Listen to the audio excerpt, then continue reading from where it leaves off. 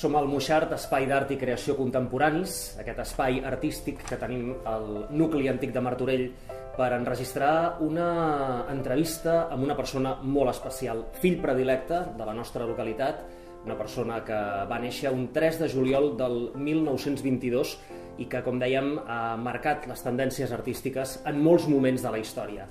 Avui tenim aquí amb nosaltres el senyor Jaume Moixart, Senyor Moixart, un plaer tenir-lo aquí avui amb nosaltres. Ja, per mi m'agrada molt. Tornar a Martorell m'agrada molt. A casa seva, d'alguna forma, la casa no, seva aquí, artística. Sí, exacte.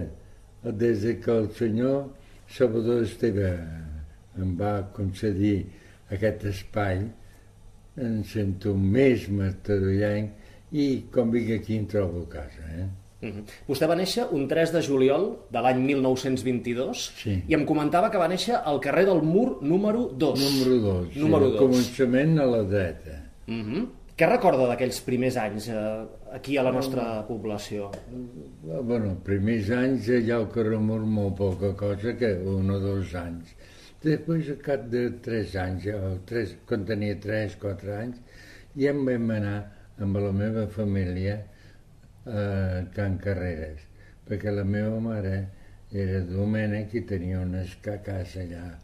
I vam, eh, vam anar al començament de Can Carreres, quasi davant de la farinera. I llavors ja molt jove, bueno, de nen, vam vindre cada dia aquí al, al carrer del Mur, a les Mercedàries, i vam estar m'ha agradat molt matí, vam venir cap aquí molt fred, que, i moltes vegades en tartana, que meu pare li agradava molt els cavalls. Bueno, el cavall perquè també s'ocupava de petit de fer de, eh, viatges o amb tartanes perquè abans la gent d'Esparreguera i tot potser venien aquí o de Martorell portar-los aquí i teníem cavalls. Era una de les coses, més que tot eren vinaters. I oh, era molt maco passar el pont de la Nolla amb un fred a vegades i venir aquí a les monges que eh, tinc molt bons records, l'únic que em van obligar a pintar amb la dreta. bueno, a pintar no, perquè no he pintat fins després de la guerra, quasi es pot dir. Però eh, escriure'm a la dreta, que l'esquerra era la mà del dimoni. Vostè era esquerrà, és Era esquerrà. esquerrà, Soc esquerrà. Ahà. Soc esquerrà. I totes les coses una mica difícils les faig amb l'esquerra. Per exemple, jugo, jugava, ara ja no jugo tan avillat, amb l'esquerra, em pentino amb l'esquerra, eh, jugava al pim-pam sempre a l'esquerra i sobretot pinto i dibuixo amb l'esquerra. Ara, també puc escriure, escric així, puc escriure amb les dues mans alhora. Facilit, no sé, a mi crec que va ser un, una cosa molt... Però abans no, no ens preocupaven tant d'això, de que si un és esquerrà, jo tinc les meves filles, dos esquerranes i dos, eh, dos de dreta, oi? Dretanes. Sí. Uh -huh. Vostè comença a pintar quan? Quin és el moment en Començo què a comença a pintar, aficionar-se? eh, ja m'agradava la pintura, però durant la guerra ja vaig començar a fer alguna o veure alguna eh, de quadres. I això em va- això m'ha salvat, perquè no, potser sí que hagi sigut un metge, perquè sempre m'ha agradat coses d'aquestes, però la pintura m'agrada molt i, i em trobo... I sobretot sóc un pintor instintiu, que no n'hi ha molts. Però eh, penso molt en la pintura. Llavors l'instint, com passa pel cap, surt la intuïció. Intuï, jo intuï molt i quasi vist que a vegades hasta llenço perquè som molt instintiu. I això i l'instint és lo, la fort meva de la pintura. Soc pintor de dins. M'han ensenyat, he estudiat però sobretot jo sóc de dins. Ara faré una exposició d'aquí, potser un mes o dos aquí mateix, aquest d'això, sobre quadres de grans pintors i els quadres que m'agradaven dels pintors. I pintats a sobre, bueno, no de l'obra, sinó de grans fotos, i he pintat a sobre. I m'he trobat eh, hi ha pintors que, que han estudiat molt i grans pintors que deia ara estic estudiant, estic a la casa de Velázquez o a la casa de, de Cézanne. Ho dic que Cézanne perquè és un gran pintor americà que pintava Cézannes, però no copiant, no, no, arbres, vivia aquell ambient de Cézanne. I ell estava dins, el, el, s'alimentava de la pintura de Cézanne. I eh, sí, els francesos van dir a la maniera, a la manera de Cézanne. Pintava a la manera de Cézanne. I això s'ha fet exposicions, pintors a la manera de tal, hasta hi havia grups que un pintava la manera de Cézanne, l'altre de, de Modigliani i, i jo no pinto d'aquesta manera.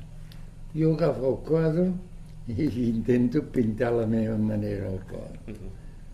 Per tant, és un quadre de Cézanne pintat a la maniera de Mouchard. Crec que a mi m'ha agradat fer-ho. I sobretot sempre m'acondiciono jo a la falta física jo ara ja no veig tant com abans, bastant menys.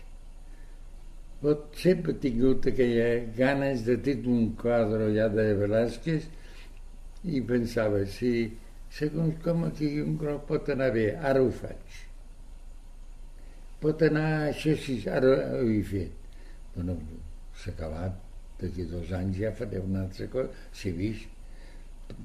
I m'agrada molt això, d'aprendre. Això Constantment estem aprenent, d'alguna forma, Completament. no? Uh -huh. Perquè pintar sobre els altres encara aprens més. I copiar tot Prado degut a eh, que vaig tenir unes beques per, per Madrid per copiar i, bueno, una de les coses era copiar. Jo, però vaig fer un gran ticià eh, sembla que va, bueno, va quedar bé perquè el mareix i tot s'ho va posar darrere del seu, del seu despatx, un nou del Ticià. I mirava de copiar hasta la tècnica del Ticià, perquè el Ticià posava un nu blanc i llavors en, en colors anava buscant baladures i van sortir una cosa neta, negrada, tenia llum, el quadre tenia llum, semblava una perla. I això m'ha agradat. Ara, el millor pintor per mi sempre és Secretó Velázquez. Perquè els intents tot, el Ticià, perquè quan no em sortia vaig pensar com ho feia, bueno, pues és l'escola veneciana, que el que mateix és, és venecià, totes aquelles túniques, que coses del grec fetes amb baladures tenen una llum estupenda crec que era un gran pintor venecià, ni espanyol ni grec. Ara, aquí van fer la gran... No, aquí no Madrid. Eh, L'Escorial havia de, va haver un concurs, el grec es va presentar ja amb dos quadres on era la Santíssima Trinitat que, i, molt maco pues, va guanyar un Tiepolo que és un pintor bo italià, però res, no, no comparem amb el, el, i a mi l'escorial pintada pel, pel Greco havia sigut una de les coses més grans d'en pintura que has fet, perquè el Grec era un gran compositor, un gran artista en tot el sentit. Font d'inspiració també per la seva obra, per allò que ha fet, d'alguna forma? A mi també m'ha anat bé el Greco també eh, tant és així ara que dius eh, que quan vaig a treballar les arts vaig pensar M'agradaria ser com, com a vegades un, un li deia no sé què, bueno, noms de Amir, era un noi que li deien Amir perquè volia ser com Amir. Però jo vaig pensar, a mi m'agradaria ser com el Greco. Ja, que no sigui exacta la pintura, que posi la teva... I ell va posar la seva força. Un punt de llibertat. La llibertat. No que no estigui encotillada a la, la llibertat no? és la primera cosa uh -huh. que necessito jo. Potser no tots els pintors, perquè aquests estan acabats i dibuixats i copiats del natural, potser no necessiten tanta llibertat. Però jo sí. Jo necessito, moltes vegades vaig allà i no sé què faré, però si em deixo portar l'instint, és un bon dia. Uh -huh. Que encara tinc l'instint. I dic, 94 anys. Això li anava a preguntar. Eh, per vostè pintar és una rutina diària o és una qüestió instintiva, de moments, d'instants, al llarg del dia o en, en el moment menys pensat? Bueno, un moment. Soc ordenat, de manera que m'agrada pintar unes hores, ja dic que ara vaig a pintar. Uh Mhm. -huh. Ara, davant del quadre, no sé què faré, i fer molt bé coses, eh? Aquest mateix, aquest, no he fet molt bé, però aquest mateix no havia aquestes coses blanques. Jo l'últim dia em vaig decidir agafar un tub i fer això perquè el trobava ensupit. I pensava fer quadrats i posar... I carai, a més amb aquestes coses vaig veure una alegria va... i plàsticament això sempre m'interessa. I plàsticament va guanyar. Perquè la pintura era, és viva i va guanyar plàsticament. La composició, les... a mi m'interessa molt un quadre que estigui equilibrat. Uh -huh. Molt. I la vida, la vida és això. Aquesta forma part eh, d'aquesta última exposició que ens ha preparat i que podem veure aquí. No, aquest no, aquest és d'una exposició que vaig fer a Barcelona dels ulls fa un any, uh -huh. un any just. I, i dos coses que m'agradaven a mi. I ara aquí vaig voler il·lum- il·luminar mica més perquè es vegi la... el- I això va ser d'instint, perquè no sabia què fer. No vaig anar a cap, al, allà a l'estudi per fer això. Però, en canvi, un cop allà vaig, em va sortir. Va sortir, aquí vols dir que no n'hi havia uns quadrats i un... Vaig agafar el tub de blanc gran i allí, allí, vaig dibuixar amb el tub. I no hi vaig veure que quedava bé, no el toquis. Mm. Perquè l'instint té això, eh? que si el toques ja no és l'instint, eh? Mm -hmm. Si després ho vas treballant, ja no és l'instint que treballa, ja és el cap, i el cap a vegades falla. Mm -hmm. L'instint no m'ha fallat quasi mai, mm -hmm. però la ment sí. Tota manera, senyor Moixart, vostè en els últims anys ha pintat, si no vaig errat, gairebé un miler de quadres referents a ulls. Ha sigut l'última temàtica, no? Els ulls han sigut sí. protagonistes. És que l'ull també, eh, ara que em falla, no es veig la importància dels ulls. I a més sempre m'ha agradat, perquè veia una noia, una nena, sobre les nenes, o, o un nen, però les nenes tenen una mirada dolça a vegades, que a vegades trista o alegre, que jo te- m'emociona aquella mirada. Les mirades són molt maques. I quan és neta com un nen, és molt bo. Hi ha mirades de tot tipus amb aquests ulls que, que podem Sí, veure aquí sí. a la sala d'exposicions. Sí, sí, n'hi ha de tota manera, a vegades co- cossos en quatre o cinc ulls per, per fer veure que aquest, aquests ulls es mouen, que amb la mirada mires aquí, aquí va ràpid, eh? I es mou, encara que no es veu així, i a vegades interpreto aquesta mirada ràpida en posar quatre o cinc ulls. I això, i a més, per mi això és una cosa nova. I a més això, sempre, quan hi ha una cosa nova, sempre m'interessa profunditzar. I no en faig un, en faig 10 o 15. Perquè cada quadre és diferent, però enriqueix. Per això a vegades fent sèrie m'ho va, m'ho vaig a perdre d'en Pons. Jo era molt, molt amic d'en Pons, de Joan Pons. A més, jo considero que ara era un personatge. I aquest, més que instint, era talent. Era un home que sabia el que feia. Instint han sigut amb mi, instint en Sotín, instint hi ha tants pintors eh, Goya alguna vegada fantàstic i en Goya era tremendo perquè el que va fer en Goya eh, amb, amb els gravats era de quasi la primera cosa que es va fer eh, com ràpidament sortia a la nit, es posava les espomes el 2 de maig, el 3, i tots aquells gravats terribles, per una vitalitat i una, una realitat. Jo vaig tindre amics, sí, vaig ser molt amic d'Eduardo Xellera, d'en Palatolo, un gran pintor abstracte, que ja quan vaig arribar a París l'any 48, ja pintava abstracte. I a mi em va dir, l'abstracte quan más real, más bueno és. Carai, primer quedes... I això li sembla, sembla una contradicció. No, no? primer una, sembla una contradicció, uh -huh. i no. Uh -huh. L'abstracte si té un sentit de, de vida, de realitat, es, es xoca. I un abstracte que no té aquest sentit de vida i això, a, a cada, és una cosa decorativa només. Uh -huh. I s'ha de posar algú. Picasso sempre posa algú i posa el seu en Picasso. En Picasso m'agrada perquè era comunista, però mai es va deixar imposar pel comunisme. Pintava la seva manera, tot.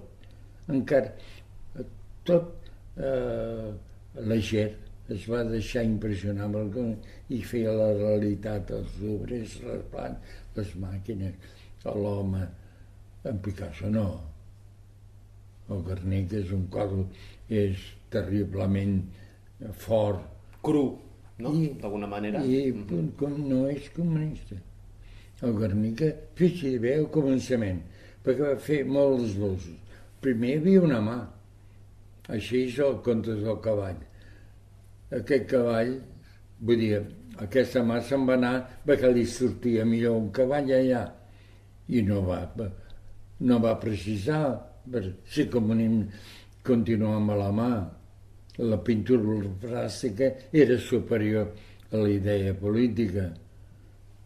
I a mi m'encanta les dues coses, que sigui polític i que... Però mai supeditar una cosa a l'altra. Mm. Vostè eh, ara ens ha delectat amb aquesta exposició d'ulls. Anteriorment, recordo, exposicions que havíem pogut veure aquí en aquest espai de flors i colors, eh, per exemple.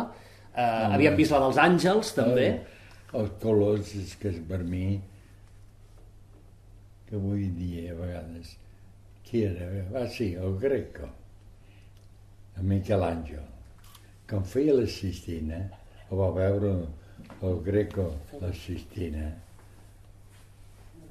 va pensar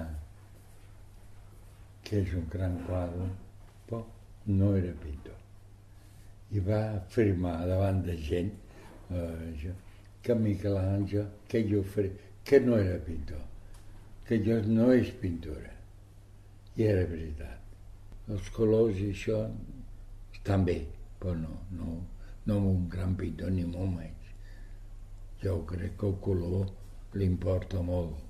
Jo crec que posa uns colors per, per unes túniques i unes sales i unes túniques eh, lluent o, o, o, mira mateix un dos túniques de Jesucrist més maques és un, un que està que que és el dia que ho van agafar que hi ha vermell.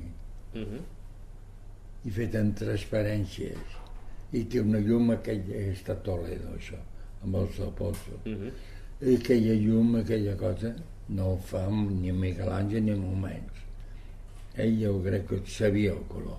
Eh, va, coneixia el color. va fer l'entierro del Conde Orgaz no? Ah, recordo, per exemple, no, no sé si és no era el, és bo uh mhm. -huh. i a més el Terre Orgaz jo també he fet la còpia i fet a dalt, a baix jo tot de caps el tornen, hi ha una sèrie de caps al mig que divideix la terra amb el cel. Les figures de dalt són estilitzades, molt.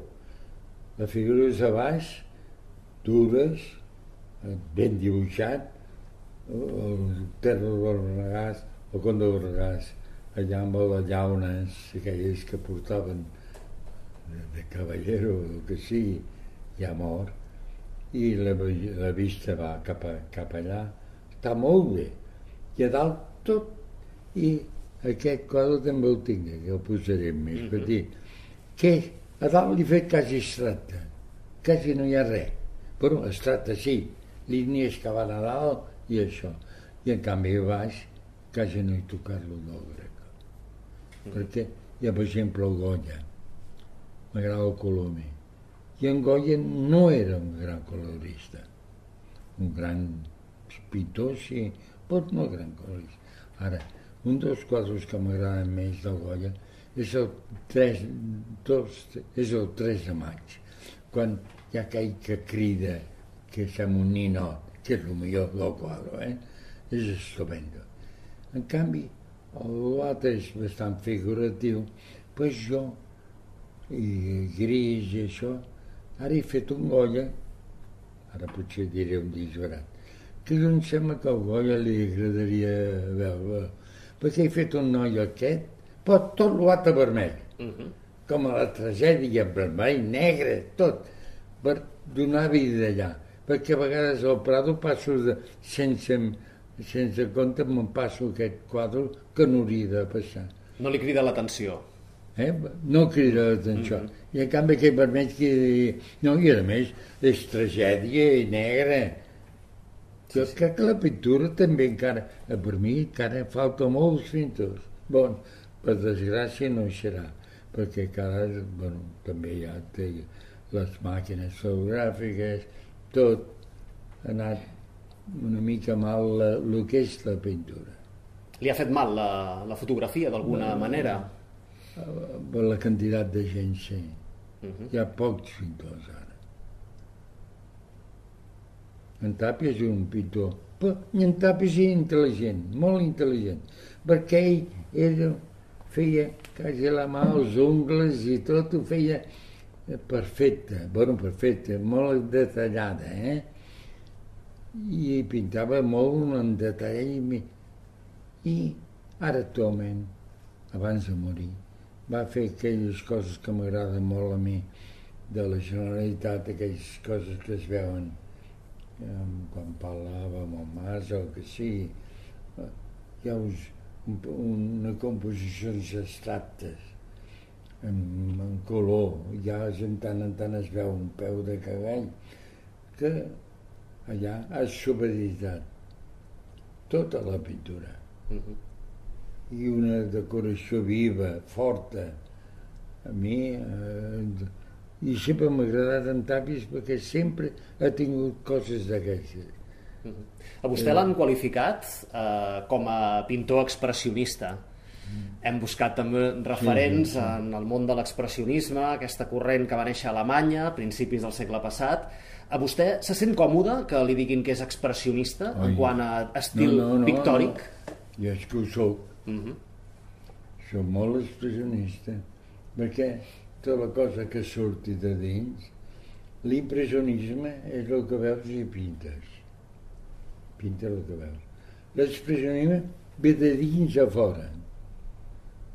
Soc, sense de model. Jo de com l'any 48 vaig anar a París i he deixat de pintar model. Tot meu és, és, és vaig veure que es pot, perquè somies i veus eh, somiant, veus, veus les figures. Ara he arribat quasi sense somiar veure les figures. Que a vegades no puc dormir, però en canvi veig figures. Uh -huh. I quasi podia pintar, sense moure'm. I aquesta cosa de l'expressió m'interessa molt. Somnis raros.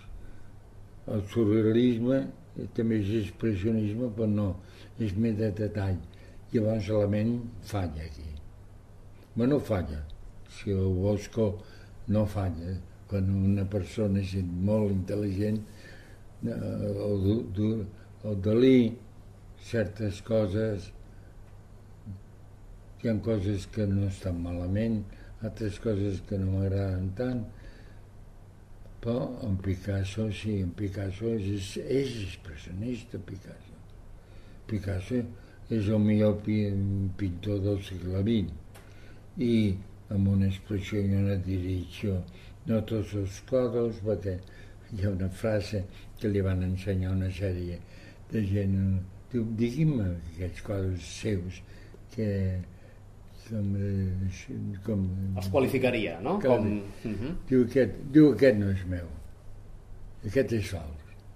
Diu, mestre, jo vaig veure com va pintar, ho sé, aquest. Diu, és que jo també em faig a fals.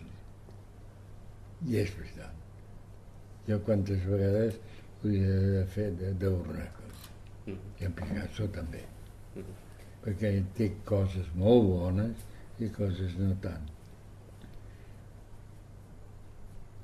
Més ja... El...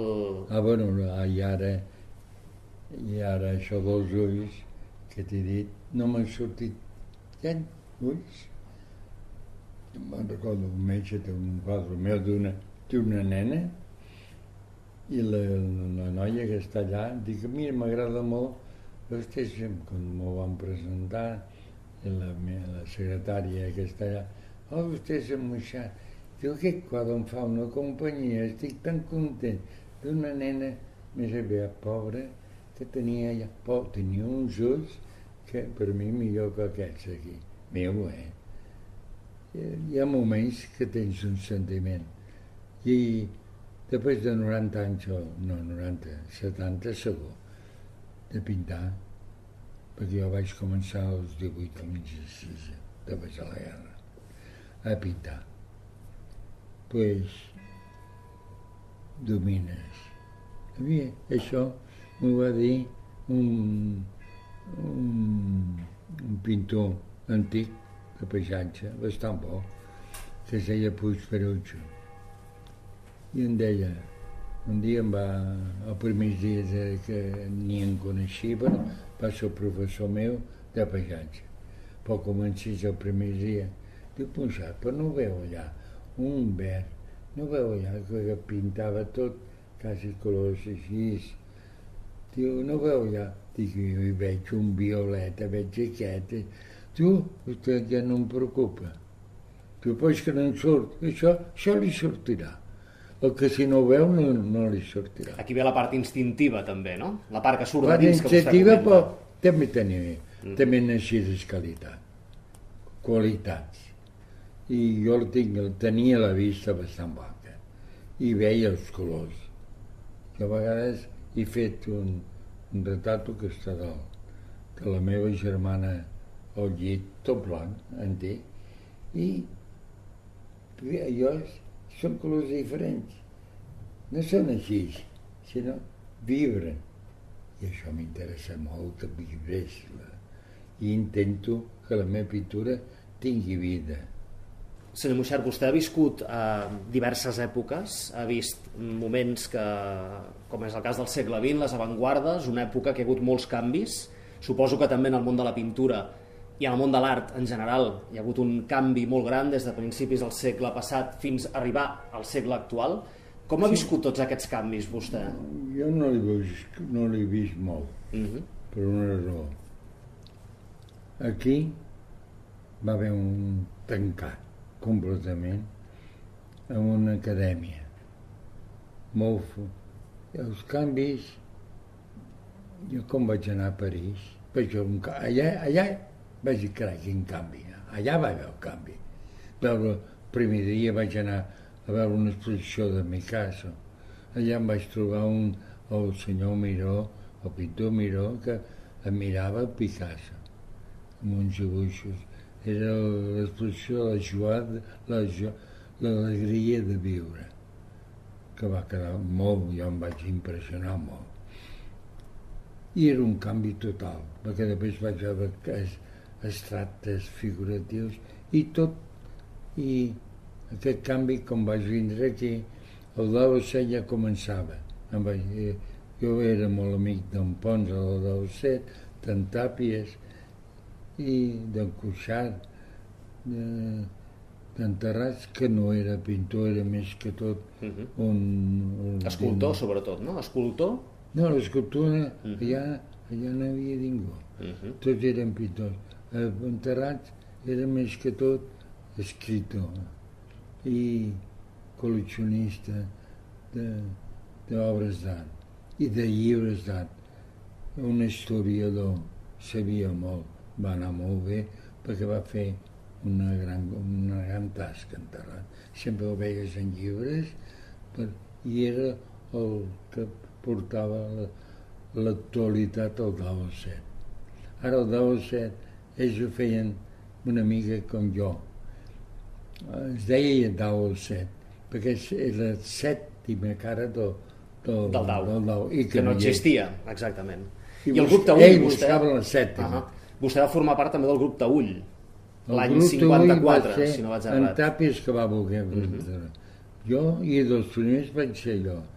Perquè un dia em trobo enterrats o la, al passeig de Gràcia i em diu hola Moixart, en Tàpies el vol veure perquè vol fer un grup i m'ha recomanat molt que, que hi vagis amb ell i fem el grup. Vam fer un, un grup de pintors. Volíem posar, on l'únic que va fallar va ser en plena Zurà, que aquella època, que l'any 52, ja era estracte. Ell, i en, bueno, eh, en Terràs era estracte, però de, de casualitat. El que sobra de, de la màquina d'imprimir, Uh -huh. sempre hi ha colors allà. Ell retallava la part que li agradava i això es posava. Què feien en aquestes reunions?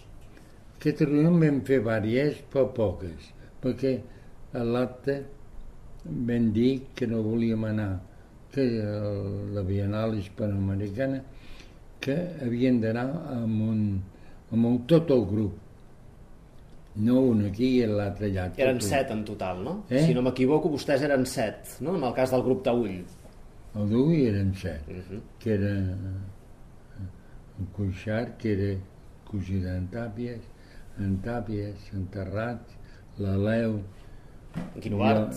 jo, en Guinovart, jo i en Jordi Mercader, fill d'un pintor també. Eh, llavors ens reuníem i vam dir que, no, que volíem anar en grup. Ens van contestar que no. I vam quedar en Guinovart i tots, doncs, no hi hem. I un dia em ve Guinovart a casa, tu, que en Tàpies hi va. Tàpies era molt punyetero, eh, amb això. Perquè li van prometre, el que sigui, i va anar. Eh, una, va anar en Tàpies, es va, es va apuntar. Llavors l'Aleu i jo, ell venia de Suècia, i jo vaig presentar uns quadres a la Bienal d'Alejandria i els vaig vendre. I vaig anar allà a gastar molts. I amb el, el Lau també vam anar a Egipte.